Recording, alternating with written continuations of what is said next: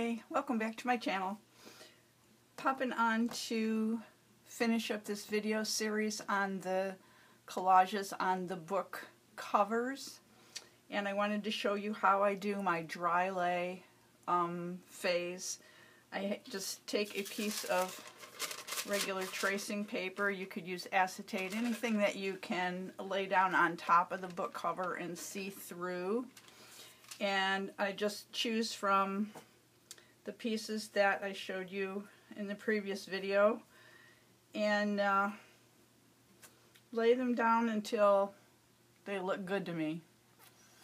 There is a rule of thirds in art composition. It's supposed to be a third and a third and a third and a third. Um, on something this small, when I want to use this many pieces, it's kind of hard. I try to keep it in the back of my mind, but I really truly just kind of go for what looks good to me and hope that it looks good to you too. So this is what I have so far, and I've decided to make this into a series of three collages. So I have the other half of the red book cover and I have a green one. So I'm going to do three that will have a similar look. They have a lot of the same components in them, but the composition is different. So the reason that I do this with the tissue paper is so that once I have it to my liking, I can slide the tissue paper off the cover. And then if I want to put something down on the background, if I want to gesso it or put matte medium or stencil or whatever I choose to do, I can do that. And with the the collage elements on the tracing paper right in front of me, I can see where my open areas are, which kind of will guide me a little bit when and if I put down anything in the background. In this case, because this is so small, that works better, I think, on a larger scale. I'm going to keep this background as just this toned paper and after I get the elements collaged on then I can use um, my Pitt pens or I can drip some paint down if I'd like. I'll do some um, other further embellishments after the components are glued down. So I'm going to go ahead and get those glued down and then see where we want to go from there. And then for the other two, I will film bits and pieces of the process as I go through doing those two because it's exactly the same as this. And I'll just speed through those and then you can see the three finished pieces at the end. So I'm going to go ahead and get stuff glued down. Wanted to mention a couple of precautionary things. If your book cor cover corners are frayed or rubbed off, just take your Liquitex matte medium and go all around the edges and just kind of push it down and round it over, pushing down any frays or um, covering the cardboard that might be poking through just to give it a little more stability. And along the cut edge, if you have enough of the book covering left to come over that edge. This one pretty much does. I don't know if you can see right there. It's kind of not. So I just put some matte medium underneath there and push that down just so you don't have any loose edges. The other thing that I like to do is again take the fine sandpaper and go over the book cover surface because they can get really dirty. They may not look dirty, they might just look like it's toned paper, but there is a, probably a decent amount of dirt on it. And the fine sanding paper will help get a lot of that dirt off. And then just use a baby wipe, blow it off with your heat tool or your hair dryer, and just lightly tack it off with a baby wipe. And then that way when you put your collage elements down with your matte medium, you're not picking up dirt and getting dirt smeared around on top of your collage elements or onto your backer. So just wanted to mention those two things as a extra precaution before you start gluing your things down on your substrate. Everything is glued down. Before I started, after I slid my tracing paper and collage elements off, I just went around the edges, especially the bottom cut edge, just with a fine sanding sponge just to smooth out any bumps or um, take off any loose paper where I cut the bottom right here. and then I took a charcoal pencil and went around the inside just to create a little bit of a border and then just with a wet, a small wet brush activated the charcoal to give it kind of an aged darker inner border. And then to put down all the collage elements, I used matte medium, the Liquitex fluid matte medium for the thinner papers and for the thicker papers, the matte super heavy gel. That works best for like the book spine pieces and the paper dolls that are on a little bit heavier paper. And then I just, you can use a credit card. I use my color shaper after I put each piece down, I just smooth it out with the um, color shaper. can use an old credit card, anything with a hard edge that will push any bubbles out and smooth the papers down to make sure it has good contact with the substrate. So that's where I'm at right now. Those are the supplies that you would need if you want to give this a try. And uh, I like this one. I'm going to do some more on it after it dries, but I'm going to set it aside to dry and I'm going to start working on getting the collage elements down on the other two book covers. So I'll be back.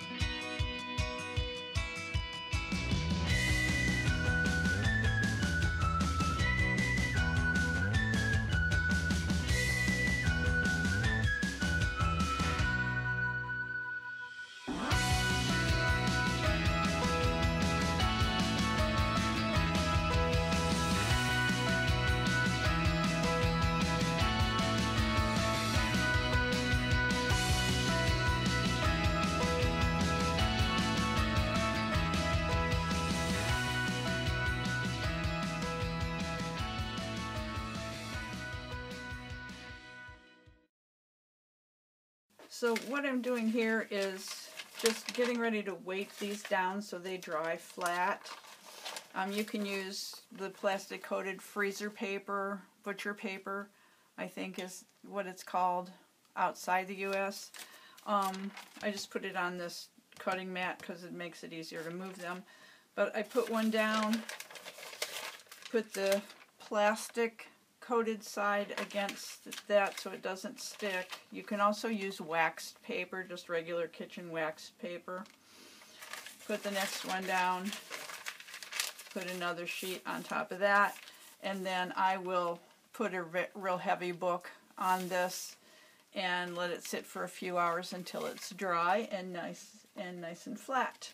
And I'm going to work on the last one now found this cool piece of glassine paper in the front of a very old book from the 1800s. I can't believe it has survived. I don't know if you can see the pattern. Little squares and then little dots. Pretty cool. I'll do something with that. Okay. I'm going to work on this one. I'll speed this up again.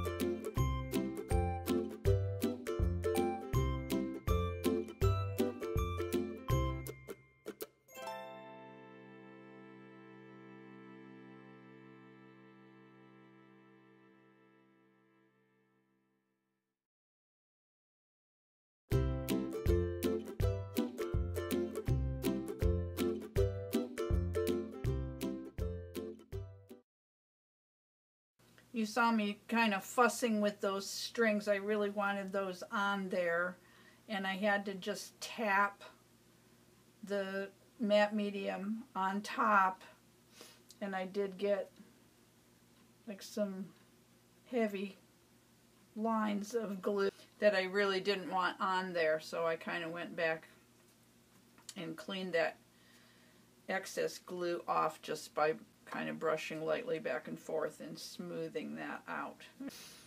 So I think these were really fun, um, a very economical project, and I really like the way they turned out. So I'm thinking about mounting these on mat board. I have mats that are already cut, but that's not what I want, but we might be able to get an idea rather it would be mounted on a piece of, mat board like that and then the mat board can just get popped into a frame and I have a great piece of wall art. And then I want to do a little bit of mark making on these before I call them done but we're getting there.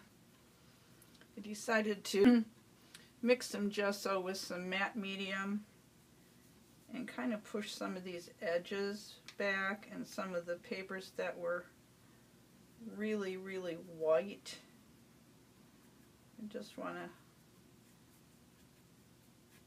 unify this just a little bit more so each piece doesn't stand out quite so much. What the matte medium does is makes the gesso be not quite as opaque so you can see through it and then I'm just dabbing it back with a baby wipe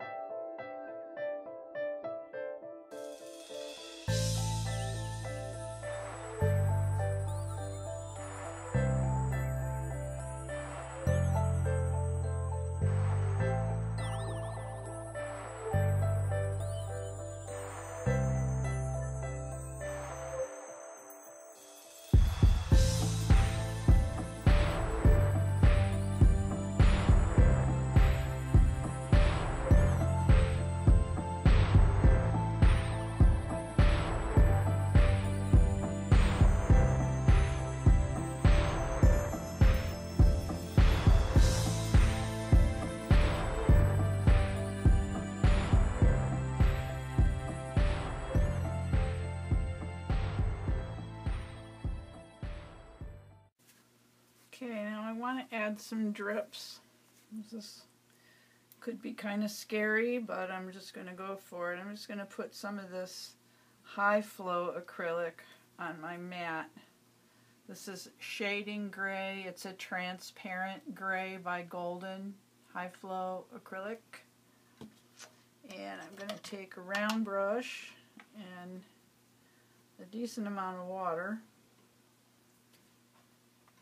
and let's see, let's try some here.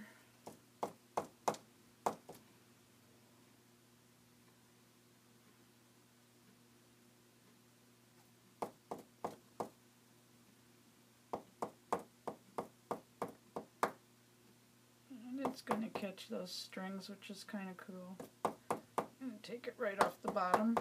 And there we go.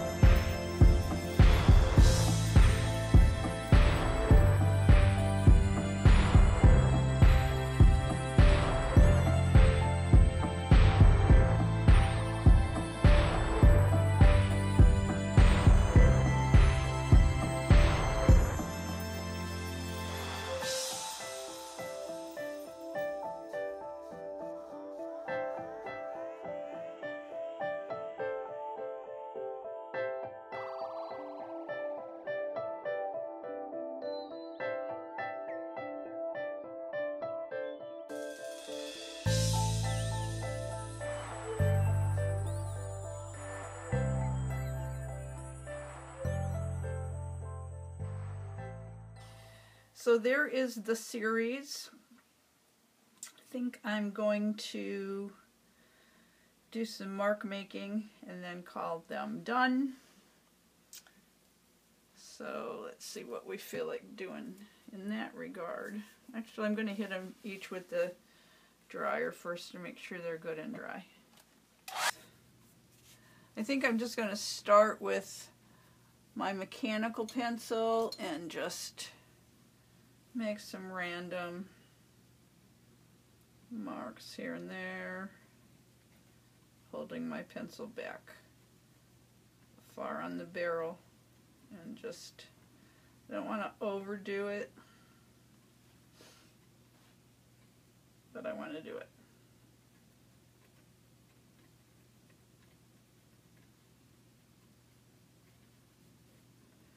A little. Just here and there.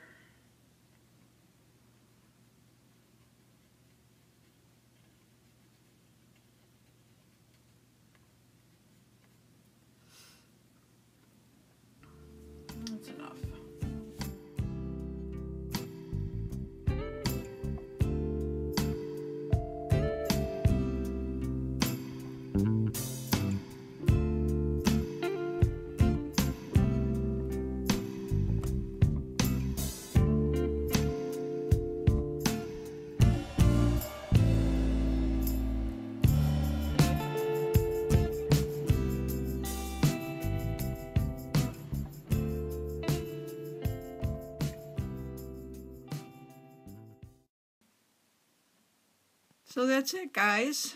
My three collages on book covers. So I think it's a pretty awesome series. I'm really happy with it. I will probably get these mounted on mat board and uh, framed. So I hope you enjoyed watching this.